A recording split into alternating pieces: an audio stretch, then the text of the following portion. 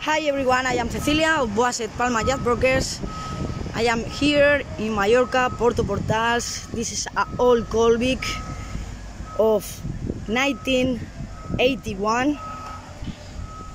This is a cockpit, navigation stage,